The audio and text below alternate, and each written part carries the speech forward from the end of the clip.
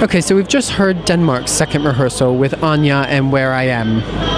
Um, she's brought the red dress back um, and she's doing a lot of walking. Um, that's pretty much sums up her performance, really. Um, she hasn't really changed much from the national final, uh, including the pyro curtain towards the end.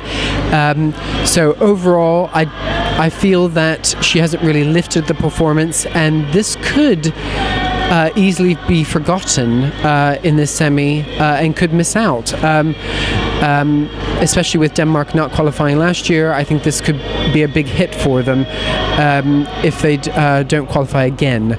Um, she is an amazing singer, but I think the song is mediocre at best.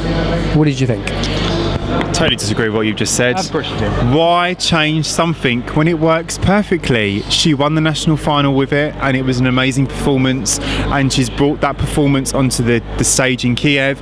It works it's I don't understand why what you're expecting from her. She's delivered. She has an amazing voice, um, and she comes across as a nice person through it as well. Yes, okay, she is walking from side to side on the stage, but she does it with attitude and grace, and she's really stepping it, making her step because she's wanted this for a while, and you can see that she's really craving it, and now she's finally here.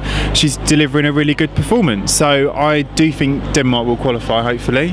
Um, so fingers crossed for her. The vocals are okay, um, but walking from side to side doesn't make it a good performance.